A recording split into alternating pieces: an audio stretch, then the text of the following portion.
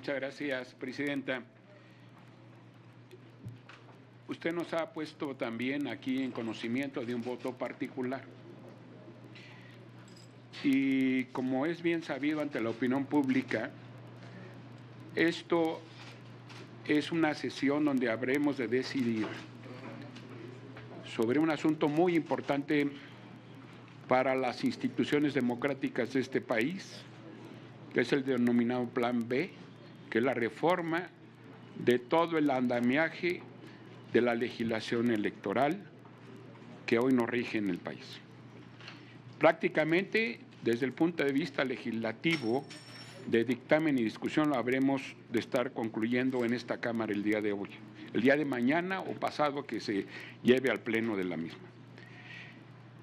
Y como ya lo hemos comentado también ante la opinión pública, nosotros iremos por, por el plan C del ciudadano, de la controversia y de la Corte. Ahora bien, en virtud de ese conocimiento que nos ha expresado respecto a ese voto particular, quisiera solicitarle, Presidenta, si a la vez también o hay como fue el turno que se hizo de esta minuta, si existe ya la opinión de la Comisión de Justicia del Senado de la República, ya que incluso el dictamen que nos está siendo puesto a consideración conlleva interpretaciones que se hacen a los procesos legislativos, que se hacen en todo caso también a la aplicación de eh, pues nuestro andamiaje jurídico. Y a la vez también si, la eh, si por su conducto la Secretaría Técnica